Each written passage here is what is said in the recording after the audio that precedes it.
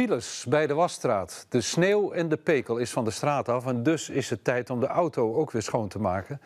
En dat gebeurde massaal. Vanaf eergisteren is het echt mega druk geworden.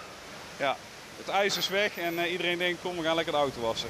Ja, het was heel erg nodig hè, na al die sneeuw en uh, de rotzooi en zo allemaal. Dat is wel uh, heel erg nodig nou. Ja, vanwege natuurlijk al dat zout en, en de rommel op de weg. En de auto is een verlengstuk van je, van, je, van je professie, dus van je zaak of van jezelf.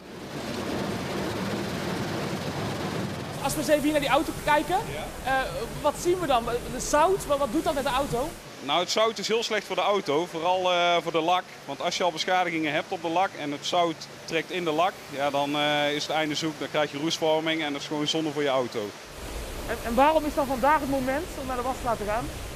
Een ingeving. Zo van, nou, het is weer mooi weer, het kan weer even. Geen flauw idee, stond in de krant. En uh, mijn dochter had weinig te doen, dus ik denk, uh, we gaan snel naar de wasstraat. Waarom? Omdat de kinderen vrij zijn en die vinden het leuk. Want als je hier in de auto zit, is het een disco-wasstraat, hè? Ja, dat is gewoon goed zo.